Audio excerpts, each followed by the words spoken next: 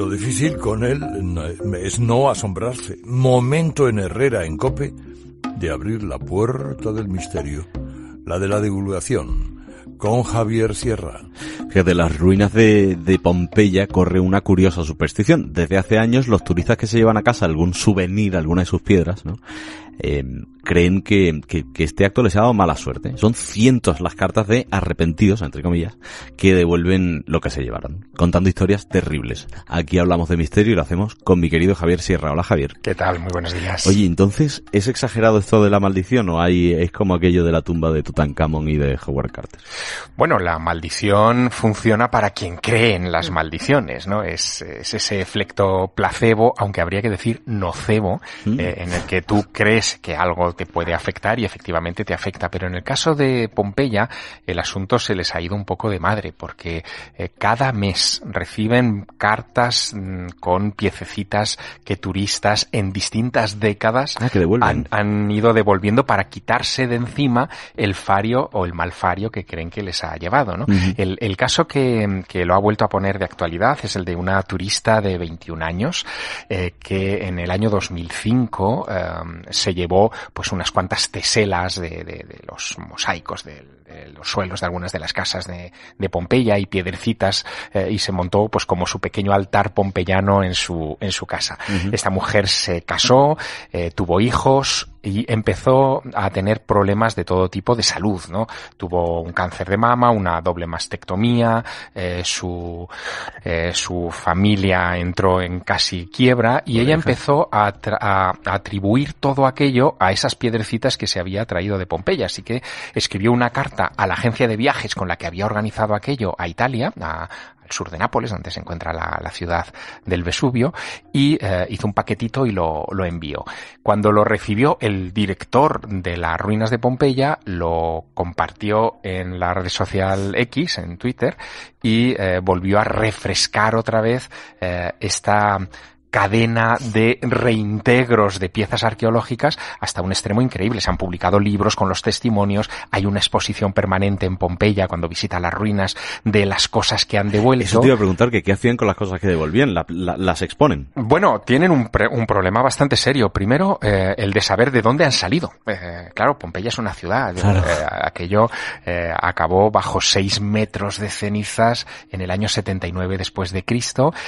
dicen las crónicas que murieron 5.000 personas solo en la ciudad durante las 24 horas que duró la erupción, pero que fueron casi 20.000 las que muero, murieron en los hmm. en las horas. Hay y los zonas que siguientes. se conservan brutal. Eh, bueno, hay zonas increíbles. El último gran descubrimiento fue una carroza nupcial que estaba perfectamente equipada. No se sabe si había ya casado antes de la erupción a los novios o si volvía después de la ceremonia. De leer acerca de un sitio de comidas en el que es que estaban hasta los recipientes, los, los vasos, los, los cazos con los que... Y es muy tentador para los turistas que ven esas cosas en un lugar que, que, es imposible vigilarse de manera exhaustiva, pues llevarse algunas, algunas piececitas, ¿no? Hay, hay historias muy, muy interesantes sobre esto que te hablaba del efecto nocebo, ¿no? De, de robar piezas arqueológicas. Eh, un señor austriaco vio un, un pequeño diosecillo de bronce en una casa, encima de un altarcillo, y bueno, decidió llevárselo. Eh, empezó a sufrir todo tipo de desgracias y lo devolvió también en un paquetito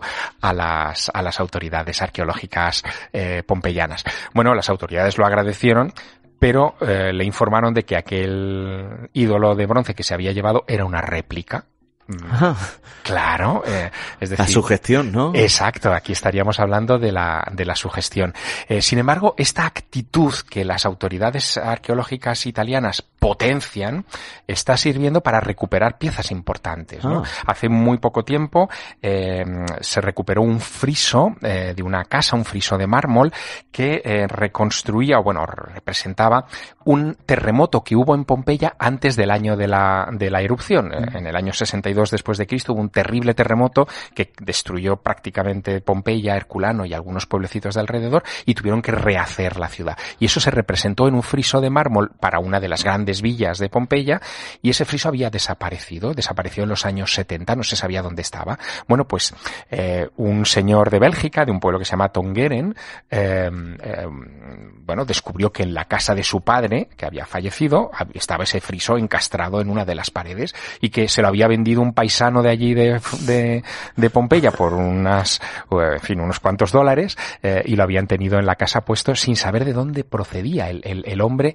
vio que aquello era arqueológico, de verdad, pidió un peritaje, descubrieron inmediatamente que era una pieza que se buscaba por parte de las autoridades italianas desde hacía muchas décadas uh -huh. y ahora se ha reintegrado al lugar. Oye, así como el terremoto construyeron Pompeya después del terremoto, eh, ¿nadie se planteó desenterrar Pompeya o es que quedaron todos muertos y...? Nadie se lo planteó hasta la llegada de Carlos III, el, el rey español que, descubre Pompeya, que potencia y paga las excavaciones de ese lugar y que influye también mucho en España. El descubrimiento de, de Pompeya hace que eh, muchos palacios eh, de repente se, se, se, decoren con estilo pompeyano o, o, si paseas por el Parque del Retiro, aquí cerca de la COPE en Madrid, eh, hay un sitio que se llama la Casita del Pescador que está decorada con, con imágenes que, que, parecen sacadas de Pompeya y es gracias a que los españoles ayudaron Oye, pues a desenterrar no, aquel lugar. Lo voy a visitar.